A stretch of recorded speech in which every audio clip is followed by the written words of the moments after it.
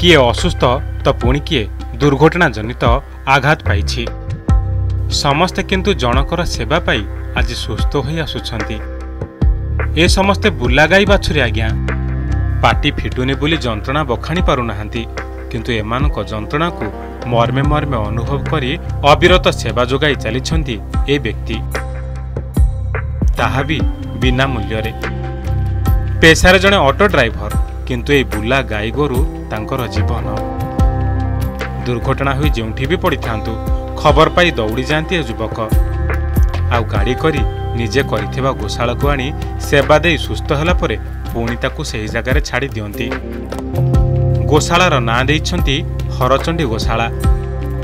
ପାଖାପାଖି ଶହେରୁ ଉର୍ଦ୍ଧ୍ୱ ଗାଈ ଗୋରୁଙ୍କୁ ସେବା କରନ୍ତି ଏ ଯୁବକ। ଭାଇଙ୍କର ସେବା ମନୋବୃତ୍ତି ଦେଖି ତାଙ୍କ ଗୋଶାଳାକୁ ଆମେ ଯାଇଥିଲୁ ଯାହା ଦେଖିଲୁ ଆଖିକୁ ବିଶ୍ୱାସ କରିପାରିଲୁନି। ଭାଇଙ୍କ ସେବା ଓ ତ୍ୟାଗ ସହ କେହି ସରି ହେବେନି। ନୟାଗଡ଼ ଜିଲ୍ଲା ରଣପୁର ଏନ୍ଏସ୍ରେ ତିନି ବର୍ଷ ହେବ ଏମିତି ଗାଈ ସେବା କରି ଆସୁଛନ୍ତି ସନାତନ ରଣା। ଦିନରେ ଅଟୋ ଚଲାଇ ଆଉ ରାତିରେ ସିକ୍ୟୁରିଟି ଗାର୍ଡ ଚାକିରି କରି ପରିବାର ଗୁଜୁରାଣ ମେଣ୍ଟାନ୍ତି। କେଉଁଦିନ ବେପାର ହୁଏ ତ କେଉଁଦିନ ହାତ ଖାଲି କରି ଘରକୁ ଫେରନ୍ତି। ଅଭାବୀ ସଂସାରରେ ରହିବି କେବେ ଉଦାସ ହୁଅନ୍ତିନି। କାରଣ ଏଇ ନିରୀହ ଗାଈମାନଙ୍କ ମୁହଁକୁ ଦେଖିଦେଲେ ପେଟ ପୁରିଯାଏ ତାଙ୍କର। ଦେଖୁନାହାନ୍ତି ଅସୁସ୍ଥ ଗାଈମାନଙ୍କର ମଳମୂତ୍ରକୁ ଉଠାଇବାରେ ଟିକିଏ ବି ନାକ ଟେକନ୍ତିନି। କାହିଁକି ନା ଗୋମାତାକୁ ନିଜ ମା ଭାବି ଏମିତି ପ୍ରତିଦିନ ସେବା ଦେଇ ଚାଲନ୍ତି। ମୁଁ ଦୀର୍ଘ ତିନି ବର୍ଷ ହେଲା ଏବେ ଗୋମାତାଙ୍କର ସେବା ସୁରକ୍ଷାରେ ଲାଗି ପଡ଼ିଛି ମା ହରଚଣ୍ଡୀ ଗୋଶାଳା ନାମରେ ଏକ ଗୋଶାଳା ଆମେ ତାକୁ ଖୋଲିଛୁ ଏବଂ ସେ ଗୋଶାଳାରେ ଶହେରୁ ଉର୍ଦ୍ଧ୍ୱ ଗୋମାତାଙ୍କୁ ରଖି ତା'ର ସେବା ଶୁଶ୍ରୂଷା କରୁଛୁ। ଯେଉଁ ଗାଈ ଗୁଡ଼ାକ କଂସେଇମାନଙ୍କୁ ବିକି ଦେଉଛନ୍ତି ବା କଂସେଇ ଚାଲାଣ କରି ନେଇଯାଉଛି ସେଇ ଗୋମାତାଙ୍କୁ ଆମେ ଉଦ୍ଧାର କରି ଏଇ ଗୋଶାଳାରେ ରଖୁଛୁ ଏବଂ ସେବା ଦେଉଛୁ। ଆମେ ସୋସିଆଲ ମିଡ଼ିଆରେ ଭିକ୍ଷାବୃତ୍ତି କରୁଛୁ ଏବଂ ନିଜ ଅଟୋ ଚଲେଇ ଯାହା ରୋଜଗାର ଆଣେ ଏଇ ଗୋମାତାଙ୍କ ମୁହଁରେ ଆହାର ଦିଏ। ଯଦି ସରକାରଙ୍କ ତରଫରୁ ବା ପ୍ରଶାସନ ତରଫରୁ ଆମକୁ କିଛି ତ ସାହାଯ୍ୟ ବା ଖାଦ୍ୟ ମିଳନ୍ତା। ଆଉ ଭେଟନାରୀଙ୍କଠୁ ଯଦି ଆମର ଔଷଧପତ୍ର ଟିକେ ବ୍ୟବସ୍ଥା ହୁଅନ୍ତା ଆମେ ଆହୁରି ରଣପୁର ମାଟିରେ ଅଧିକରୁ ଅଧିକ ଗୋବଂଶକୁ ସୁରକ୍ଷା ଏବଂ ସେବା ଯୋଗାଇ ଦେବୁ। ନିଜ ରୋଜଗାର ଆଉ କିଛି ସୋସିଆଲ ଫଣ୍ଡିଂରୁ ଏହି ଗାଈମାନଙ୍କ ପାଇଁ ଚୋକଡ଼ ଗୋଖାଦ୍ୟ ଆଦି କିଣନ୍ତି।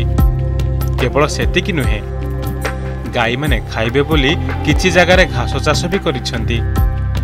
ଗୋମାତାଙ୍କ ଗୋବରରୁ ଘଷି ତିଆରି କରନ୍ତି। ଆଉ ଦୀପାବଳି ସମୟରେ ଗୋବରରେ ପ୍ରସ୍ତୁତ ଦୀପ ତିଆରି କରି ବିକ୍ରି କରିଥାନ୍ତି। ଏହି କାମରେ ସନାତନଙ୍କ ପରିବାର ଲୋକ ମଧ୍ୟ ବହୁତ ସହଯୋଗ କରନ୍ତି। ତୋରାଣି ପନିପରିବା ଆଦି ସଂଗ୍ରହ କରି ଗୋଶାଳାକୁ ଆଣିଥାନ୍ତି। କେବଳ ସନାତନ କାହିଁକି? ଏହି ଗୋଶାଳାକୁ ସ୍ଥାନୀୟ କିଛି ଯୁବକମାନେ ଆସି ଗାଈମାନଙ୍କ ସେବା ଯତ୍ନ ମଧ୍ୟ କରିଥାନ୍ତି।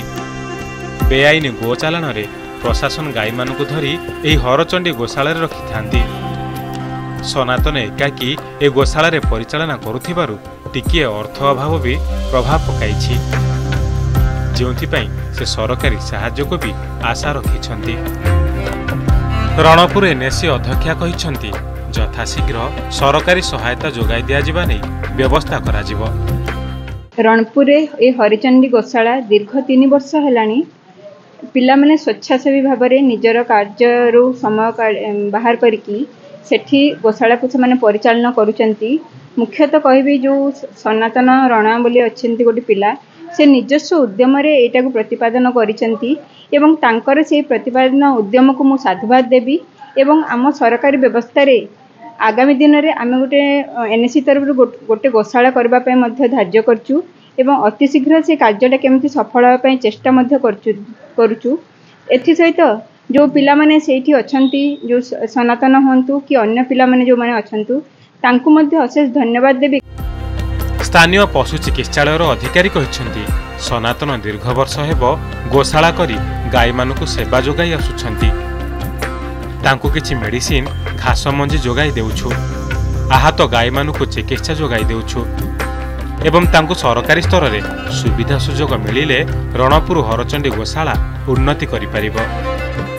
ଏଠି ସେ ସନାତନ ବାବୁ ଯିଏ ଅଛନ୍ତି ସେ ହରଚଣ୍ଡୀ ଗୋଶାଳା ନାମରେ ଏକ ଗୋଶାଳା କରିଛନ୍ତି ନିଜ ଉଦ୍ୟମରେ।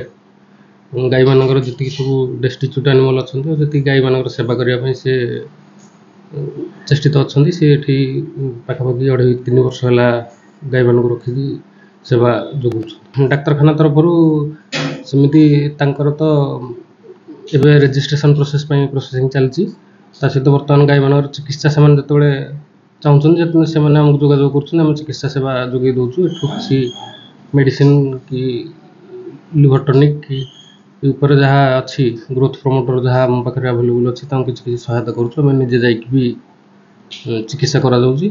ଆଉ ଘାସ ମଞ୍ଜି ସେଠି ଘାସ ଚାଷ କରିବା ପାଇଁ ଆଉ କିଛି ସରକାରୀ ଅନୁଦାନର ବି ମଧ୍ୟ ସେ ଦିଗରେ ଆମର ବିଭାଗୀୟ ଅଧିକାରୀ ଉପରିସ୍ଥ ଅଧିକାରୀମାନେ ବି ଆସିକି ତାଙ୍କ ଗୋଶାଳା ଦେଖିକି ଯାଇଛନ୍ତି। କିଛି ବ- ନିକଟ ଭବିଷ୍ୟତରେ ଉଁ, ସେ ଦିଗରେ କିଛି ପଦକ୍ଷେପ ନିଆଯିବ ବୋଲି ଆମେ ଆଶା କରିବା। ବାସ୍ତବରେ ସନାତନ ହିଁ ସନାତନର ମୂଳଧର୍ମକୁ ବଜାଇ ରଖିଛନ୍ତି। ଗୋମାତା ସେବାରେ ଯେଉଁ ପୁଣ୍ୟ ମିଳୁଛି ତାହାକୁ ଅର୍ଜନ କରିଚାଲିଛନ୍ତି ସନାତନ। ରଣପୁରରୁ ଆଲୋକ ମହାରଣାଙ୍କ ରିପୋର୍ଟ ଓଡ଼ିଶା ରିପୋର୍ଟର।